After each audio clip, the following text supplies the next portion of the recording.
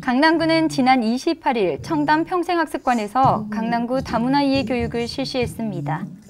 이번 교육은 대민 서비스 및 복지 서비스 접점에 있는 공무원과 복지시설 종사자를 대상으로 다문화 감수성을 제고하고자 상호 간의 문화 존중과 다문화 사회 이해를 위한 교육을 실시했습니다.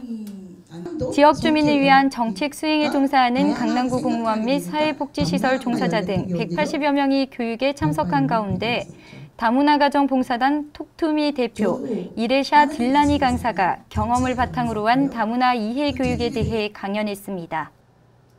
이번 교육을 통해 다문화에 대한 편견을 해소하고 건전한 다문화 사회를 조성할 수 있는 문화 다양성에 대한 이해의 폭을 넓히는 기회를 가졌습니다.